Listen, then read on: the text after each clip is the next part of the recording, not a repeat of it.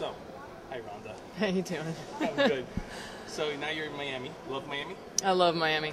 Yeah. I love Miami. This is a great tournament, great staff, great uh, facility, and uh, you know, obviously great weather. I, I don't, I don't see how there's any downside to this event. Every year, it's spectacular.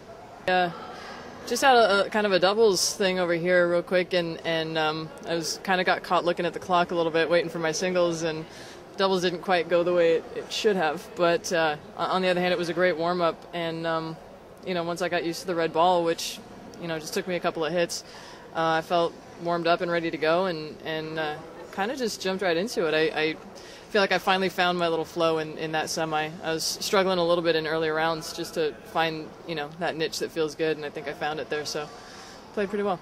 That's great. And okay, so tomorrow you're going to the finals, right? At noon. Mm-hmm. And uh, so what are you going to do tonight? What do you do to prepare for tomorrow? Uh, well, I've actually got family in town that, that I'm staying with, so uh, you know it's probably probably up to them. We'll see what their dinner plans are, and I, I don't know. They're they're a little bit older, but I think they, they can they can party down a little bit. So I got to see if I got to see who's going to have the curfew, me or them.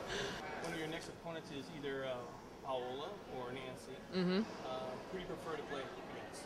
Mexico. Mexico. all right, all right. Well, uh, Uh, they're they're both great players. Um, obviously, you know, Paola and I play once or twice a week, I think, and uh, and and Nancy, you know, she's she's playing really well right now. I, I haven't played her since um, the World Finals in um, Korea in August, so.